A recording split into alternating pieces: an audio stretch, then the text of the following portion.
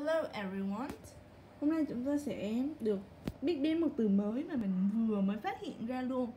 Đấy là cái từ ở trong câu 9 Remnant Remnant Chúng ta sẽ đọc nha.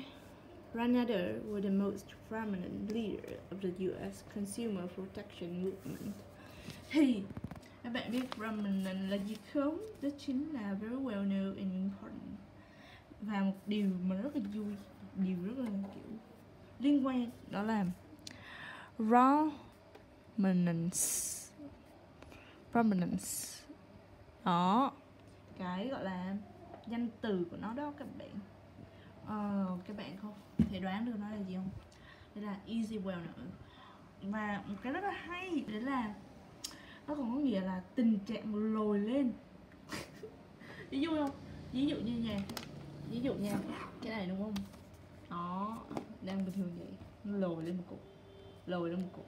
Thì đó là prominence và khi mà nó lồi lên đó, thì nó dễ nhận thấy đúng không? Thì nó cũng very well known important. Yes. Thank you.